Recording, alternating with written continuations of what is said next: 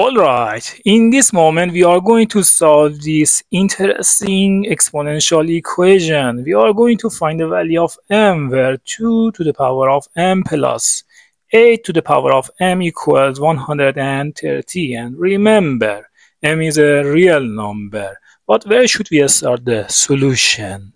To start the solution I'm going to rewrite this 8 in the form of 2 cube, right? We can 8 is 2 times 2 times 2, which means 2 cubes. So go ahead and get started. Our equation is going to be 2 raised to m plus 2 cube, which means 8. 2 cube raised to m and right hand side, what do we have? 130. Good. Next, this exponential rule that says a to the power of m raised to the power of n can be written in the form of a to the power of n raised to m. Actually, it says in this exponential rule, we can change the place of this exponent and this exponent. So go ahead, use this rule and continue the solution. It is going to be 2 raised to m plus. This one, I write the base, which means 2, then this exponent m and at the end cube equals 130. In this moment, I'm going to let 2 raised to m. Let 2 raised to m equals y. So equation is going to be y plus this one, y cube equals 130. Move this 130 to the left hand side. It is going to be I write this one first, y cubed plus y minus 130 equals 0. Now we need to be a little bit tricky and write this y in the form of negative 25 y plus 26 y. Why I do this? You will see, just wait. So it is going to be y cubed minus 25y plus 26y minus 130 equals 0 making group using this term and this term.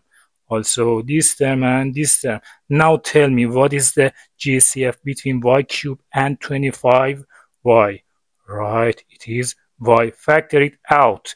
Y cube divided by y is y squared minus 25y divided by y is 25 all right next. Gcf between this term and this term?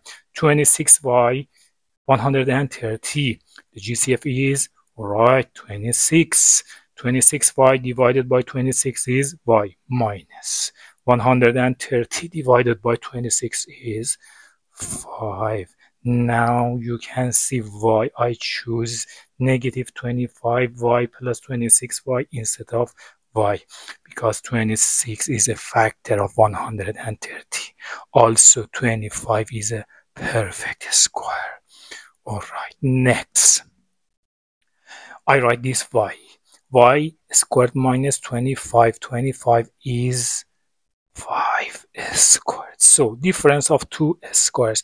It can be written in the form of y minus 5. y plus 5 plus next 26 times by minus 5 equals 0. Now tell me, we have a term here, a term here.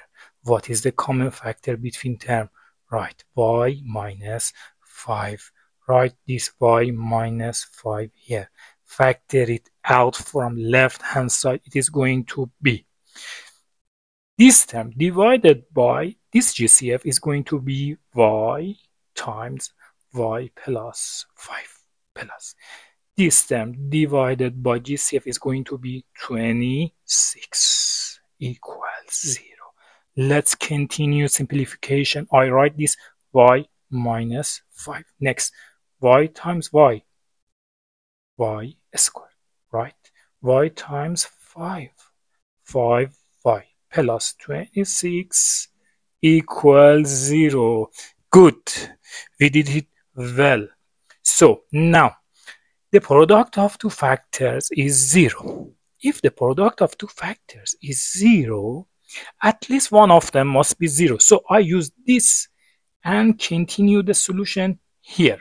I write y minus 5 equals 0 or this one which means y squared plus 5y plus 26 equals 0. From this, what is the value of y?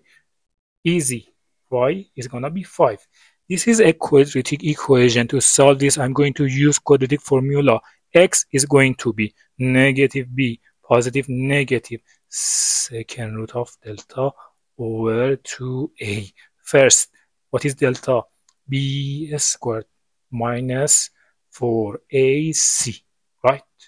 Delta is going to be b 5s squared minus 4a 1c 26. So delta is going to be 25. 4 times 6, 4, 10. So 25 minus 10, 104.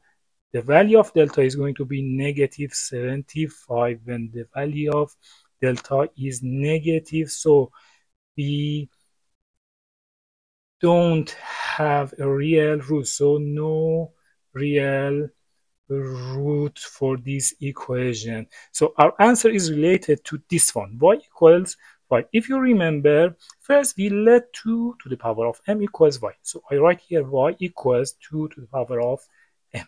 Now, use this one and this one. So we can write 2 to the power of m equals 5. Now, how can we solve this equation? Is it difficult? Nope. How? Just take log from both sides. It is going to be log 2 to the power of m equals log 5. Move this m in front of this log. So we have log m log 2 equals log 5, right?